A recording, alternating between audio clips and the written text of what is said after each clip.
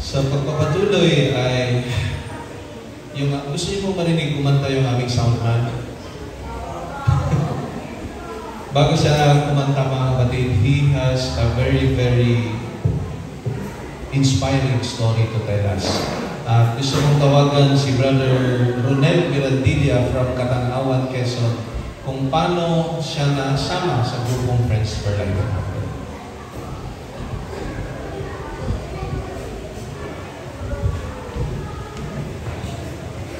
Po, uh, muli po, good afternoon po sa ating lahat. Uh, happy Sabbath. Yan, ako po ay mag-testimony kung paano po ako naging Adventist at kung paano po nakilala ang grupong Friends for Life. Ako po ay dating sakristan sa ating uh, simbahan sa Tanawang Quezon.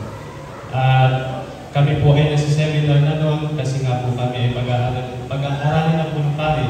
Pero nung na po yun, yung aming uh, ka-brother, siya po ang nag-aamin ng aming mga papeles para po makapag-aral sa ministeryo, ay bigla pong uh, hindi na nagpakita, hindi po namin alam kung bakit, basta po hindi na po siya nagsimba at hindi na po namin nakita.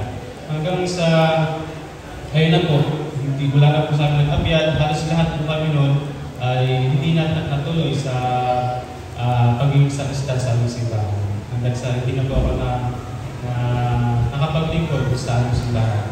At 2012 po kami po ay nagkaroon ng pagsubok dahil si mama po ay uh, inatake dahil po siya ay may uh, high blood. Then, nung panahon na po yun, uh, sa kesa namin po kasi hindi naman ganun ka buhay at simple lang pagsasaka at uh, pagtitinda ng kakanin hanap buhay ng aking mga magulang. At nung time na po yun nung natak si mama, ay dinala po namin sa ospital ng Katanawan.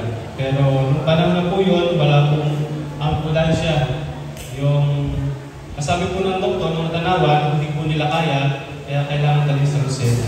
Pero wala pong ambulansya nung time na yun, kaya po kami yung pinaghanap ng doktor ng Katanawan. Eh, nung nahanap po namin yung sasakyan, van po yun, arkilahin. At sabi po ng may-ari ng van, ay para po magala si Mama sa Lucena, kailangan po magbigay ng po ng bayad na 4,000. Pero dahil nga po sa kawalan ng financial, sabi po ni Papa, ay kung uh, 2,000 muna yung ibigay na bayad. Pero hindi po pumayag yung may-ari ng van. Hanggang sa inabutan na po si Mama na 4 AM sa hospital at doon na po siya uh, binawian ng buhay. So, masakit po sa part namin kasi imbis na matutuan pa sana ang buhay dahil sa kawalan ng financial ay uh, siguro po talaga hanggang doon lang yung uh, buhay ng aking nanay. At doon po, ako po ay solo anak sa ni Papa, pero si Mama po ay may anak sa unang asawa na apat. At nung tinawagan ko po yung aking mga kapatid, sinabi ko po yung nangyari kay mama dahil ako lang po si Papa yung uh, ang naninira sa Quezon at yung iba ko pong kapatid nasa Bulacan. So tinawagan ko po sila mama no, kasi sila ang mga kapatid ko po na nangyari po kay mama at yun po, uh, umuwi na po sila sa Quezon noon at pagkalipid ko ni mama, ako po sinama nila sa Bulacan para uh, doon na po mamuhay dahil ako po ay hindi hindi hindi naman maka makapapa lang yung kasama, hindi po ganun kami kakaus ni Papa. At yun po, hanggang sa sinama na ako ng aking mga kapatid at nakapagtrabaho, unang trabaho ay sa, hanggang sa ako ay napadpad ng Antipolo. Doon po, uh, trabaho, inabutan po ako doon ng 4 years, mahigit. Eh, pero mahirap kasi uh, ang start po ng trabaho namin noon, 5 a.m. to 7 p.m. Kaya hanggang uh, yung buong maghapon, doon lang po umiikot sa trabaho, tapos wala pa pong day off. Kaya pagod-pagod. At sinubukan, try po ako na mag-Maynila, sinubukan ko po na uh, pumunta sa Manila hanggang sa ako po'y napagpad ay na namasukan sa Walter Mark Supat Paranaque. At doon po, nagtagal din ako ng ilang taon at hanggang sa napalitan ko nga po yung grad food delivery rider kung saan ay medyo malakas ang kita. Dahil nga po kapag under agency ka sa Manila, ang sahod mo lang po about uh, 500 plus. So, doon lang po naglalaro. Eh, nabalitaan ko nga po yung, yung delivery rider. Pinuto naman po ako ng time na yun. At uh, una po, part-time lang muna, subukan. At hanggang sa natuklasan ko na nga po na medyo malakas ang kita dahil ang bayaran po doon ay per uh, biyahe. Kaya minsan po umaabot sa isang araw na um, 1.5, 1.6, kaya halos 50 po yung kita. At ako nga po ay nag-full time nung time na po sa pagiging delivery rider. Hanggang sa medyo mga uh, naging maayos ang buhay ko kasi si Papa na lang po yung tulungan ko hanggang sa medyo uh, naging ano sa pera, naging parang tawag doon, kalupansya. naging ano sa pera, naging waldas. At doon po ako na ay uh, napaniwara sa buhay. Dahil ako po ay nalulong sa sugal, sa inom. Ayan. At hanggang sa hindi ko po nang namamalayan, hindi na po ako nakapagtrabaho. Ano na lang, dahil uh, na ano po, dahil nga po sa sugal, ay nawala na po ng gana.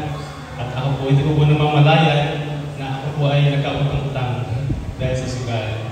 Yun. At ako po, nung time na po yun, hindi ko na po alam kasi hindi, na, hindi naman po alam ng aking mga kapatid na ako may ganung problema. At nung time na po yun, hindi ko na po alam kung paano bayaran. Halos, uh, nasa kwarto na lang po ako noon. Doon na po ako na-depress at nagkaroon ng uh, depression nung time na po yun. Hanggang sa sinubukan ko nung nag, uh, nakaisip na po ako noon na mag, mag, mag-suicide dahil nga po sa kung ano-ano na po yung mga pumapasok sa sa aking isip. At yun po, hanggang sa uh, pinupunta na po ako ng, ng mga barkada ko sa bahay dahil nga po may meron po kami GC. Minsan po nag-chat ako ng kung ano-ano na itili na lang yung buhay para po matapos yung mga problema na hindi naman po dapat. At nung wala na po akong mahinga ng tulong, na, nakaisip ko, naka-suggest na rin po ako na sabihin sa aking mga kapatid, dahil alam ko din po na sila lang nakakatulong sa akin. Ayun po, hanggang sa sabi po sila no, na umuwi na lang ako ng Bulacan at doon po ay pag-aambag kumbaga nila yung uh, mga pag-aambag kumbaga nila uh, pera para po mabayaran yung aking mga utang. At doon po hanggang sa umuwi na po ng Bulacan, nagtulong ko nila aking mga kapatid. Uh, Siyempre po sa una, talaga magagalit dahil uh, kasalanan nga naman po yun. At lalo ay medyo may kalakihan. Siyempre po, bilang kapatid, papayuhan ka, gano'n po. Hanggang sa ako'y napunta ng Marino Bulacan, doon po ako muna namasukan. Dahil nga po yung motor kong ginagamit, ay hindi ko na po nabayaran. Hanggang sa uh, na ano na po, na hata ang kasa. At doon po, dapat po ako ng Marilaw, doon po sa pinsan ko, muna po ako na trabaho, hanggang sa nag-download po ako ng TikTok para po makapag-libang-libang dahil nandun pa rin po yung depression kasi po hindi ko po alam kung paano muli babakon, hindi ko alam kung saan po mag-uumpisa. Hanggang sa nag-download nga po ng TikTok at uh, dun po na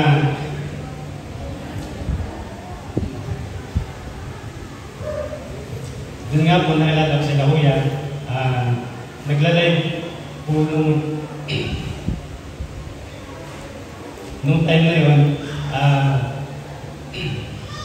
nung nagla-live po si Kuya, pag kumakanta po siya ng mga gospel song, uh, hindi ko po maiwasan hindi maluha siguro po dahil sa mga katulad nga sinabi ni engineer, iba yung dati kapag yung mga makalangit na awitin ng uh, pumasok sa atin at siyempre, uh, iba rin po feeling kapag mismo yung Panginoon na mismo ang humipo sa atin. Kaya hindi po may paliwanag yung nararamdaman at parang uh, yung basta. At yun po, hanggang sa June, June yun, one year na pala po yan. June yung nag-start. eh. So one year pa lang nakakilala sila ko yung Hermie. Pero sa ano pa lang po yun, ah, sa cellphone pa lang kasi hindi po po sila mamimit ng personal. At birthday po na nun, inibitahan po niya ako na pumunta sa kanila para meron po kaming GC na depression survivor at ako po yung ginawang uh, tagapagbigay ng regalo para kay Kuya. Ako yung ginawang uh, mensahero. At ako yung taga nag-abot ng regalo para kay Kuya. At doon nga po, first time Sabado po yun, Imbitahan din ako kayo magsimba sa Apo Bayan Day Church sa Taguig. Doon po, first time ko po na magsimba sa Adventist doon. At doon po sinabi ni Kuya na ah, wala po silang soundman noong time na yun. At baka daw gusto ko po um, maging kabahagi na Friends for Life. Pero hindi po muna sa akin nag-sync din yung sinabi ni Kuya kasi ah, wala po, parang wala pa pong ah, sa akin ganito.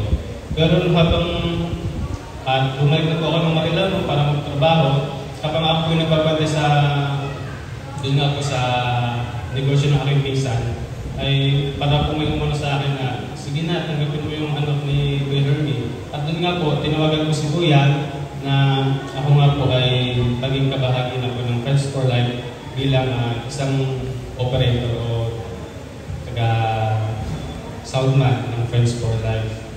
At doon po, sabi ni Kuya, baka daw po gusto kong mag-Bible study at natin ng crusade, sakto naman po noon na may gaganapin, may gaganapin crusade doon po sa tabi.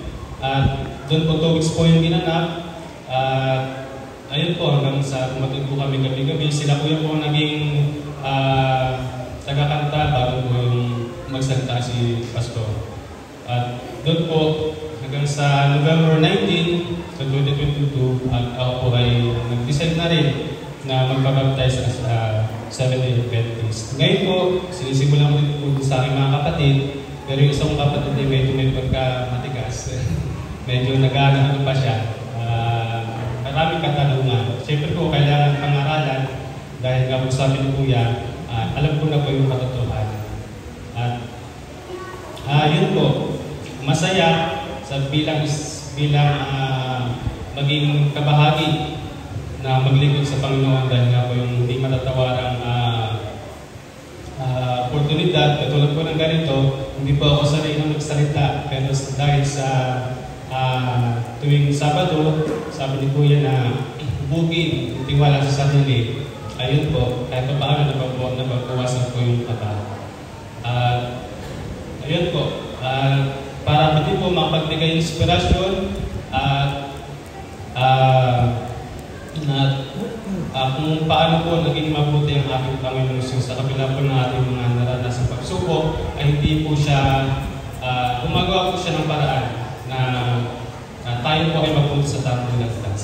So, ayun po. Kaya po ako gusto nagpapasalamat sa ating Panginoon Jesus at dahil siya po ay napakabuti sa atin.